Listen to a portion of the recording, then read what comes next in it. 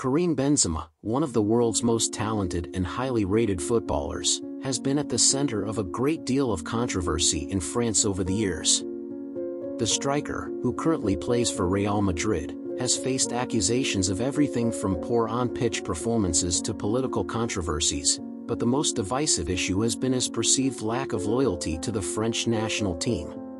To fully understand the controversy surrounding Karim Benzema, it's important to look back at his history with the French national team. Benzema first played for the French team in 2007, and he quickly established himself as one of the team's most talented players. However, his time with the national team has been marred by a number of controversies, including accusations of being involved in a sex tape scandal and allegations of racism. These controversies have led to a great deal of negative press coverage, and many French fans have turned against him as a result. One of the main reasons that Karim Benzema is so widely disliked in France is due to his perceived lack of loyalty to the national team. In 2015, Benzema was suspended from the team after being accused of blackmailing a fellow French player over a sex tape. The incident caused a great deal of controversy, and many French fans were outraged by Benzema's actions.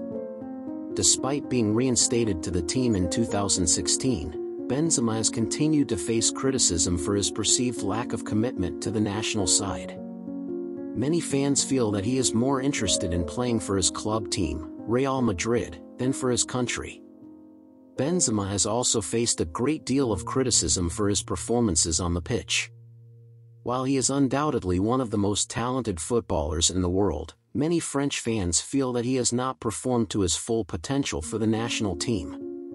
Critics point to his relatively low goal-scoring record for the French team, as well as his sometimes lackluster performances in major tournaments such as the World Cup and the European Championships. While these criticisms are not unique to Benzema, they have certainly contributed to his negative perception in the eyes of the French public. Another factor that has contributed to the controversy surrounding Karim Benzema is his political views. The striker has been vocal about his support for the people of Palestine, and he has faced criticism from some French fans for his stance. In 2021, Benzema caused controversy when he was caught on camera appearing to tell fellow French player Ferland Mendy not to pass the ball to another player because he plays for the enemy's country. The comment was widely interpreted as a reference to Mendy's Algerian heritage, and it caused a great deal of outrage among fans and commentators alike.